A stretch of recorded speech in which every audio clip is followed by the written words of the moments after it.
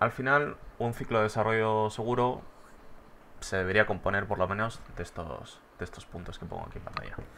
Un modelo de amenazas, pensemos en de qué forma nos pueden atacar, qué datos son más sensibles, quién va a que, eh, si habría alguien interesado en acceder a ellos, pues bueno, al final, si por ejemplo tenemos que tener en cuenta nuestra superficie de ataque, si somos una aplicación web, pues de qué forma nos pueden atacar, qué niveles de seguridad deberíamos incorporar, ¿vale?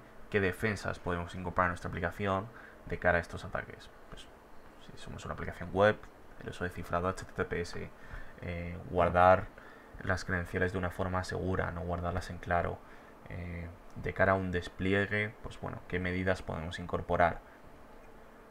Todo esto nos va a permitir, pues bueno, eh, categorizar las amenazas que vamos a, a tener y clasificarlas. Y de esta forma podemos pensar en formas que podemos utilizar para mitigar estas amenazas. Que podemos, qué medidas, por lo mismo, podemos incorporar de cara a protegernos. Y de esta forma tenemos unas especificaciones iniciales de seguridad antes de empezar el desarrollo eh, del código. Antes de empezar a programar, podemos tener unas, unas especificaciones básicas que luego podemos ir ampliando de qué necesidades necesita nuestro, nuestro software a nivel de necesidad.